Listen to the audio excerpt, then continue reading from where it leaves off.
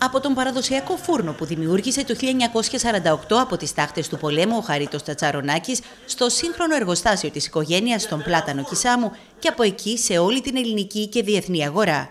Η ιστορία του κριτικού παξιμαδιού το Μάνα ζυμώνεται δεκαετίες τώρα με αγάπη και μεράκι. Συνειδητά προάγουμε τις κριτικές και μεσογειακές γεύσεις, μια και ζυμώνουμε παραδοσιακά κριτικά παξιμάδια εδώ και δεκαετίες. Τα παξιμάδια μας κρύβουν όλη την οστιμιά και τη μαγεία της κριτικής και της μεσογειακής διατροφής.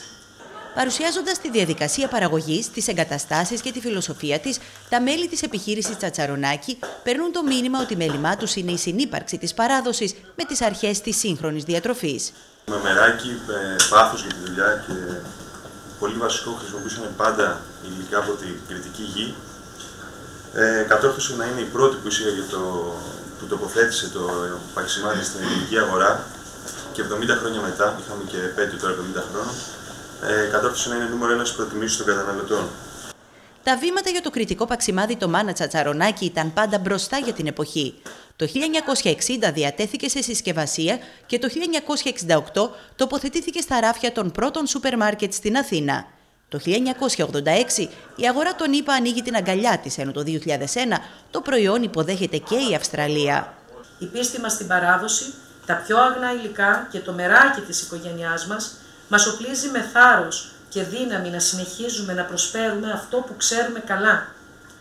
Την άριστη ποιότητα και γεύση των προϊόντων του Μάνα Τσατσαρονάκη.